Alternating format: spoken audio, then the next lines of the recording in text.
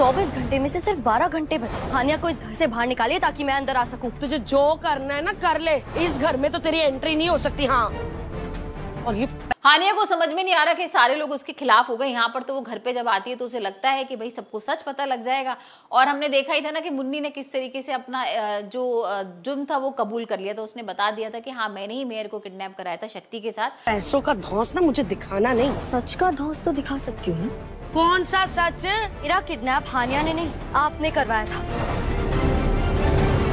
और मैं नहीं चाहती थी कि वो मेरे घर की बहू बने, मैं चाहती थी तुम मेरे घर की बहू बनो। और सारी चीज़ें वो बता देती है, लेकिन इतने में शक्ति आ जाता है और यहाँ पर हमला कर देता है हानिया के ऊपर। अब भाई हानिया अकेले तो नहीं कुछ कर पाती तो अपनी दोस्त को बुलाती है। वो और उसकी दोस्त मिलकर शक्ति को मारते हैं और यहाँ पर मुन्नी को भी जख्मी कर देते हैं। पर भाई ये सब करने के चक्कर में ना यहाँ पर एक वीडियो बन जाता है जिसमें शक्ति को पैसे दे रही होती है हानिया। यहाँ पर हानिया के जाने से पहले ही ना लियो और मुन्नी मिलकर ना वो वीडियो घर वालों को दिखा देते हैं और ये देखते ही ना सबके होश उड़ जाते हैं।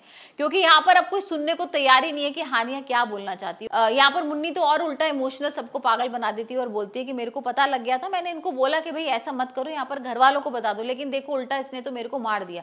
मतलब यहाँ वो ये नहीं बता रही है कि मैं गलत हूँ, यहाँ पर हानिया कोई उसने पूरा गलत बता दी और हम देख रहे हैं कि मेहर उसको खींच हाथ, उसको घर से बाहर निकाल देती है और सरब हाथ वाथ जोड़ के उसको बोल रहा है कि भाई अब मैं तुमसे बात नहीं करना चाहता, तुम मुझे ज़िंदगी भर अपनी शक्ल मत दिखाना और यहाँ आसमा भी उसके खिलाफ हो गई तो देखते हैं अभी हानिया क्या करती है, किस तरीके से भाई साबित करेगी वो गलत नहीं है और यहाँ पर मुन्नी और शक्ति का सच सामने लेकर आई। क्योंकि मुन्नी ने तो भाई इस तरीके से पागल बना दिया कि कोई विश्वास करने को तैयार ही नहीं है। यहाँ पर तो सब हानिया को ही ब्लेम कर रहे हैं। तो हानिया अब किसका साथ लेगी? ये तो आने वाले एपिसोड में ही देखेंगे।